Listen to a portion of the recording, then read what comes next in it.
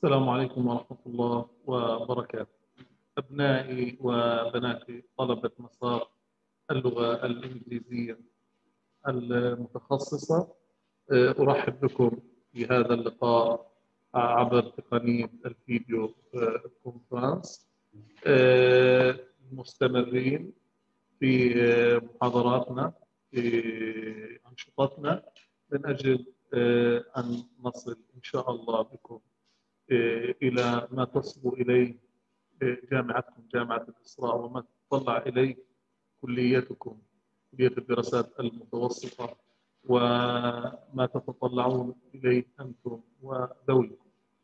في هذا اللقاء ودي مراجعة ما تم شرحه مسبقا وإعطاء ملخص عام عنه ومن ثم مراجعة الفيديوهات الأخيرة التي أدرجت ضمن صفحة التعليم الإلكتروني ومن ثم عمل فاصل محدود والعودة إلى استفسارات. وبالتالي أي استفسارات بودي تركها لبعد ما ننهي المحاضرة تماما ونعود مرة أخرى.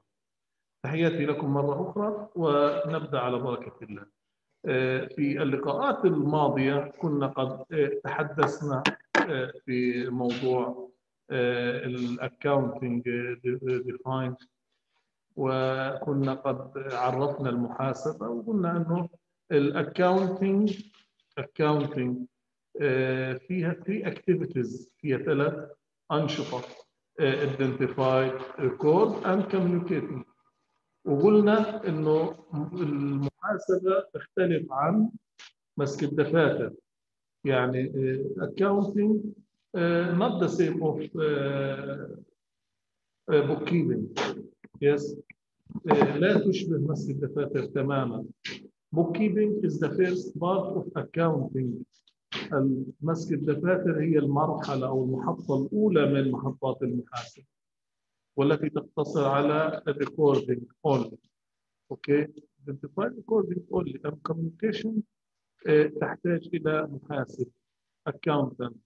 Okay سبق أن ذكرنا أن مستخدمي البيانات المالية شريحتين. Internal users و external users. وعلى شاكلة لو كنا أمام composition أو استفسار question accounting uses استخدامات المحاسبة. كنا لخصنا الأمر وقلنا إنه في عندنا external uses و external users وفي عندنا internal uses وفي internal users. وقلنا external users المستخدمين الخارجيين. زي ال government الحكومة زي البنك زي أي جهات من خارج المؤسسة. وقلنا internal داخليين internal users زي اللي هم إيه الإدارة administration أو ال human resource الموارد البشرية أو ال marketing التسويق أو أي دائرة داخل إطار المؤسسة. هذا بشكل عام كنا قد تطرقنا إليه وتطرقنا إلى كثير من المعارف إلى أن وصلنا في الفيديوهات الأخيرة إلى موضوع مهم جدا. هذا الموضوع هو ال accounting equation ال accounting equation أو معادلة المحاسبة معادلة المحاسبة. كما أشرت أن معادلة المحاسبة هي من المواضيع المهمة جدا ومن باب التسهيل عليكم أثرت إنه أنا ما نستخدمش الكتاب الكبير فقط نعتبره مرجع أساسي وأن نلتزم بالسلايد المطبوع وانا جهزنا لكم السلايد ومتوفر ونزلت لكم على صفحة التعليم الإلكتروني آلية تحصيل نسخة من ال slides المطبوع. بإمكان الجميع الاطلاع ويتبع معنا أول بأول لأنه أنا حكون أمام ال slide ات المطبوعة أيسر في الشرح والكتاب يظل مرجع أساسي موجود لحين ما نحتاج أي تطبيق أو شيء. إذا أنا في slide 24 في chapter 1 سلايد 24 في الفصل الأول بقول لي the basic accounting equation. يعني لو حد عايز إيش يترجم معنا أول بأول وتمشي الأمور إن شاء الله آه، بكون أمر آه، جميل جدا. فإذا أول شيء أنا عندي آه، مباشرة basic accounting equation. the basic accounting equation. آه الآن basic accounting equation يعني أنا بقول عن اللي هو معادلة المحاسبة أو آه زي ما إحنا متعودين عليها. آه دايما كنا نقول إنه الأصول تساوي الالتزامات زائد حقوق الملكية. Assets equal liabilities زائد equity. يعني الأصول بتساوي الالتزامات زائد حقوق الملكية. هي ببساطة. يعني ممكن أنا أجي أطلب منك بالامتحان إنه أنت تترجم لي هالموضوع الموضوع هذا ببساطة أو إنه تحوله من اللغة العربية للغه الإنجليزية بكل يسر. إنه الأصول تساوي الالتزامات زائد حقوق الملكية. تمام. Assets equal liabilities plus equity. يسيرة جدا لا. طيب الآن what the meaning of assets شو هي ال assets. Assets in Arabic الأصول. بالعربي كنا نقسمها أصول ثابتة أصول متداولة fixed assets and current assets okay بس هنا عايزين نصل للتعريف اللي إيه؟ اللي معتمد في المعايير ومعتمد في الكتاب. ال assets نفسها هي عبارة عن resource business own يعني عبارة عن موارد مملوكة للمشروع. هاي كل الأمر. اذا يوم ما أنا أجي أقول لك is a resource business owns يعني كان إحنا بنقول كل الموارد المملوكة للمشروع يعني مملوكة للمشروع ملكية مطلقة هي بتمثل ال assets. طيب هذه إيش بتسوي ال assets؟ تعملنا provide a future service or benefits بتمدنا بخدمات ومنافع مستقبلية.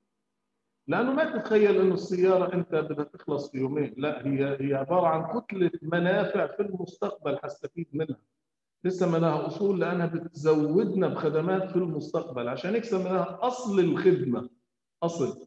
ليه صارت resource لأنه هي أساسا أصل لهذه الخدمة. تمام؟ أمثلتها كاش نقديا inventory equipment من أمثلة الأصول كاش نقديا inventory مخزون equipment اللي هو معدات هنا هتتذكر أنت معي إنه في فيكس ثابت وفي current متداول. طيب الأصول بتساوي ال liabilities زائد ال equity ال liabilities شو هي ال liabilities ال liabilities عكس الأصول يعني هناك كنا نقول أصول للمشروع هنا التزامات على المشروع. هنا التزامات على المشروع التزامات على المشروع. طب من أمثلتها في slide 26 25 account payable اللي هي إيه؟ الدائنون وال notes payable اللي هم أوراق الدفع وال salaries and wages payable الرواتب والأجور المستحقة. طيب كمان الآن بنوصل لل equity slide 27 أنا براجع معكم مراجعة لأنه هذه الفيديوهات يفترض إنها إيه موجودة عندكم وأنتم اطلعتوا عليها. الآن في ال equity، ال equity عبارة عن ownership claim on total assets، يعني بين قوسين عبارة عن صافي حقوق الملكية اللي أنا إيه بمتلكها. يعني الآن لما بنقول عنده حقوق الملكية بص أنا عايز أختصرها عليك كده بسهولة تتمثل في بندين capital راس مال أو share capital يعني راس مال أسهمي أو capital نفس الشيء. زائد retained earnings retained earnings أرباح محتجزة أو أرباح مدورة أو أرباح مدورة. فإذا ال retained earnings زائد ال capital مع بعض إيش بيسووا؟ بيدوني اللي هو فكرة ال equity إذا ال equity عبارة عن capital زائد retained earnings ال equity عبارة عن capital زائد retained earnings retained earnings أرباح محتجزة أو أرباح مدورة أو أرباح مدورة. capital حقوق رأس مال. share capital رأس مال شكل أسهم. تمام. الآن في slide 28 وبود هنا تركزوا فيه. أستأذنكم التركيز موضوع التركيز مهم جدا. آه، من أجل أن آه، نستوعب المسألة اللي لها علاقة بالشرح. تمام؟ في slide 28 آه، هو بيقول لي ببساطة إيش اللي بيأثر على ال equity؟ على حقوق الملكية. في أشياء بتزيدها في أشياء بتنقصها هذا واضح جدا. يعني حقوق الملكية إيش الأشياء اللي بتزيدها؟ الإيرادات إيش الأشياء اللي بتنقصها؟ النفقات أو المصاريف. هو بيقول له بص معايا revenue إيش بتسوي؟ بتعمل increases increases زيادة ال equity بينما المصاريف expenses بتعمل decreases تخفيض reduce تقليل لحقوق الملكية. كمان ال investment by shareholders يعني الاستثمارات الجديدة بتؤدي لزياده حقوق الملكية بينما ال dividends dividends to shareholders توزيعات للملاك هذه بتؤدي لايه؟ لل decreases بتؤدي لتخفيض حقوق الملكية. هو عايز slide 28 وما يلي يحتاج منكم تركيز صراحة كبير علشان نفهم هو عايز يشرحها نقطة نقطة فأنا أمشي معاك. خليك معايا slide 28 بنقول investment by shareholders الاستثمار بواسطة الملاك أو بواسطة أصحاب رأس المال يؤدي إلى increase equity إلى زيادة حقوق الملكية. slide اللي يليه 29 revenues إيرادات. نفس الشيء تؤدي إلى زيادة حقوق الملكية.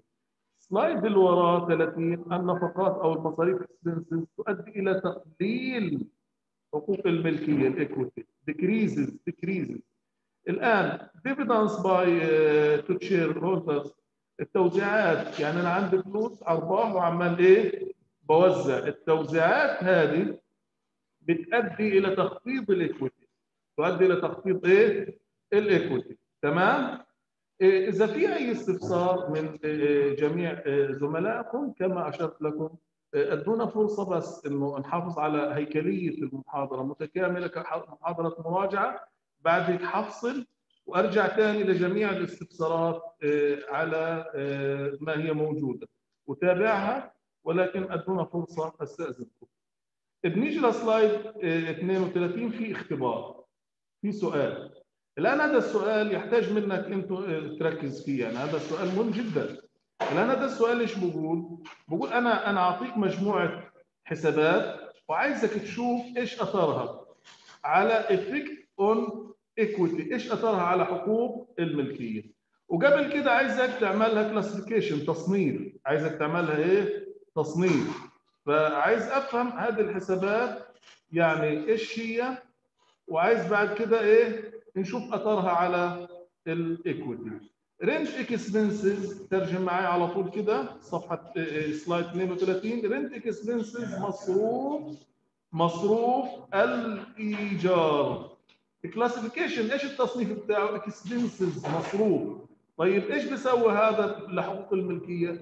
اتفقنا على مبدأ عام أن كل المصاريف بتخفض حقوق الملكية اذا decreases تمام؟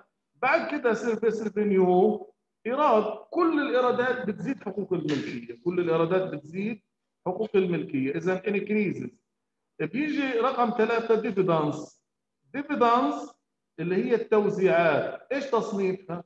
تصنيفها توزيعات. لانها لا هي مصروف ولا إيراد. تمام؟ طيب إيش بتؤدي بالنسبة لل equity بتؤدي ل decreases تخفيض ال equity آخر شيء salaries and wages expenses salaries رواتب wages أجور. salaries and wages expenses مصروف الرواتب والأجور. في مصروف الرواتب والأجور إيش بيعمل بالنسبة للتصنيف؟ expenses إذا هو expenses فورا إيش بيعمل في ال effect of equity يخفضها. طالما مصروف. إذا كل المصاريف ال expenses تؤدي إلى decreases of equity بينما الإيرادات revenues تؤدي إلى increases of equity تمام.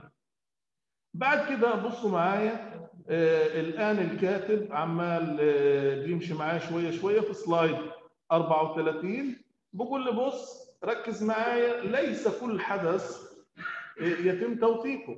يعني إحنا ما بنسجلش كل معاملة بتصير إلا إذا حدثت بالفعل. هيك المحاسبة.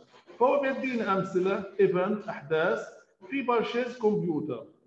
في slide 34 بقول ال purchase computer تستوجب إصدار فاتورة. تستوجب إصدار فاتورة. ليه؟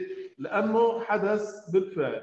بينما على جنب على طول بقول لي discuss product design with uh, a potential customer. يعني اتناقشنا مع المصمم على شكل إيه؟ اللي إحنا عايزين نمشي فيه. شاورنا مع ال customer بس ما عملناش شيء اذا هذه لا تستوجب إصدار فاتورة. آخر شيء pay rent دفعنا دفعنا الإيجار مصروف الإيجار. طالما دفعنا تستوجب إصدار قيد وإصدار فاتورة. هاي ال slide تاخذوا بالكم معايا. يلي سلايد مهم جدا slide 35 مهم جدا جدا. هذا ال slide إيش بقول؟ بقول كالتالي بيديني معادلة الميزانية بس بشكل موسع بس بشكل إيه؟ موسع إيش الشكل الموسع؟ بقول assets بتساوي liability زائد equity طيب هي ال equity حقوق الملكية من إيش بتتكون؟ بتتكون من capital و retained earning من رأس مال وأرباح محتجزة، طيب الأرباح المحتجزة من إيش بتتكون؟ بتتكون من revenues إيرادات ناقص expenses مصاريف ناقص dividends مسحوبات أو توزيعات. توزيعات. ترجمة دقيقة توزيعات. لو كانت شركة أشخاص اسمها مسحوبات. تمام؟ إذا هذه تحفظها زي اسمك لأنه هي أصل علم المحاسبة كله. أنا معني بحفظ كل المفردات ومعرفة دلالاتها. طيب نمشي بعد كده على السلايد اللي وراه. بيدينا تطبيق عملي؟ وبقول لي إيش اثر هذه المعاملات على معادلة الميزانية؟ كل هذا التطبيق أنا صراحة في له سلايد خاص في له فيديو خاص موجود على صفحة التعليم الإلكتروني موجود فيه بكل أريحية كل تفاصيل هذه المعاملات. أنا هشرح واحدة منها والباقي كله موجود معاكم بتنزلوه من خلال الصفحة. لو جينا لل transaction 1 آلية التعامل معها تبصوا معايا. أول حاجة بنروح إحنا مخططين ورسمين معادلة الميزانية زي ما هي كده كاملة وبنبدأ نفرغ المعاملات. فهو بيقول investment by stockholders يعني استثمارات بواسطة الملاك. استثمارات هنشوف أثرها على معادلة الميزانية. قال لي Ray and Barbara Neal أسماء مش هتفرق معانا. المهم اتفقوا اللي بيعنينا على to start smartphone بدهم يفتحوا شركة جوالات حديثة أو لوحيات company مش عارف إيه. بهمني أنا الكلام المحاسب. الكلام المحاسب بيقول لي on September 1 2017 في 1 سبتمبر 2017 they invest من هنا بنبدأ نركز they invest استثمروا 15000 يورو استثمروا 15000 يورو كاش تحط تحت كلمة كاش خط على طول. يعني هم جابوا فلوس 15000 يورو كاش كاستثمار جديد. كاستثمار جديد.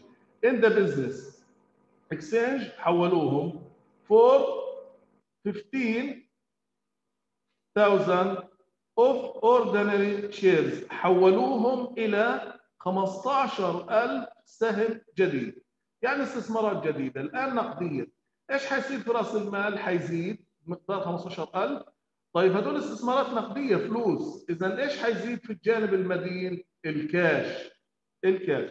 اذا الكاش حتزيد 15000 وال share capital حتزيد 15000 وهكذا في بقية التطبيقات اللي تليها كلهم مشروحين بشكل يسير جدا وسهل وتستطيعون تنزيل الفيديو من خلال صفحة التعليم الإلكتروني والاستفادة منها بشكل أكثر دقة وحيوية.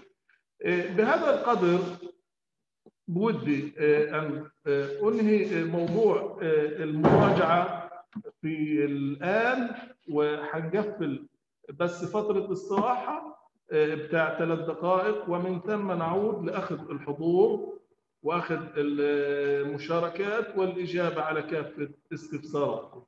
لحظات ونعود إن شاء الله. بالتوفيق إن شاء الله